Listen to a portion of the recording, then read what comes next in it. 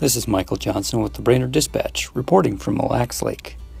In an effort to find out the population of smallmouth bass in one of Minnesota's largest lakes, the Minnesota DNR started capturing and tagging smallmouth bass from Mille Lacs last week. As part of uh, our efforts to learn more about the smallmouth bass in Lake Mille Lacs, uh, attempted a population estimate a few years ago, but uh, this is a much more intensive effort. Uh, we'll be tagging the fish with uh, yellow Floy tags. There'll be, we're going to do one or two on each fish, one under each the spiny and the soft dorsal fin. That helps us evaluate tag loss as well, but really what we're looking for is if people catch a tag fish, there's ways to report that on the DNR website.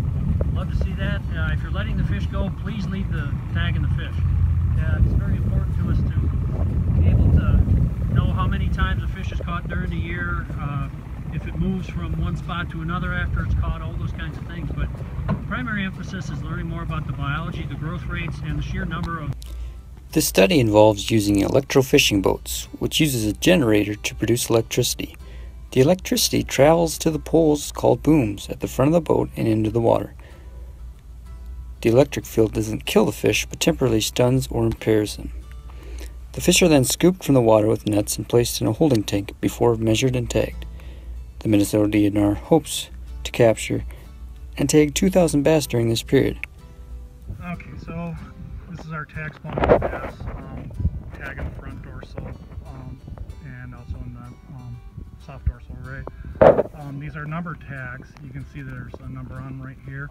Um, go ahead and just read that number off, leave the tags in the fish. Um, sometimes these do algae up a little bit, so if you just scrape the algae off, then you can get at the number and just report the data on the DNR website.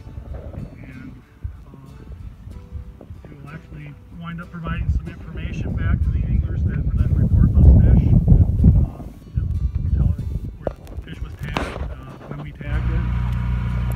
The DNR is not asking anglers to release tagged fish if they wish to take them home for a meal. They just ask anglers to follow the regulations. If anglers take the time to report the tagged fish, it will only help gain a better understanding of the fish numbers, their behaviors, and overall health. This is Michael Johnson, the Brainerd Dispatch.